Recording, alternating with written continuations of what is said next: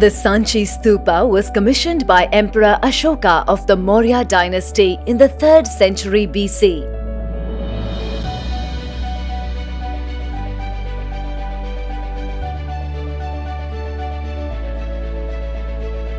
The Great Stupa at Sanchi is amongst the most critical Buddhist landmarks reflecting Buddhist art and architecture.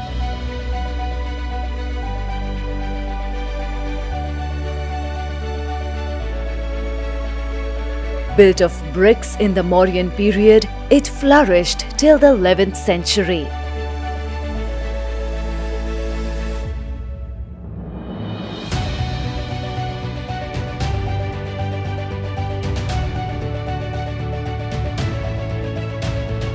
The expansion of the stupa happened during the Shunga dynasty, which took over the Mauryan dynasty.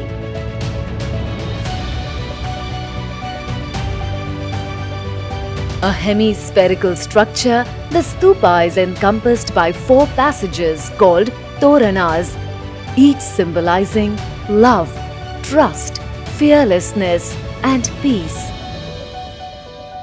These were added during the Satvahana rule. The great stupa at Sanchi is crowned by a dome or chhatra, intended to honor and protect the precious relics inside. This great stupa served as a core to the expansive Buddhist foundation amid the later period. It is located at about 46 kilometers north of Bhopal, Madhya Pradesh on a hilltop in Raisen district. It was declared as a World Heritage Site by UNESCO in 1988. The Sanchi Stupa is a precious Buddhist landmark and is the perfect destination to soak in some spirituality.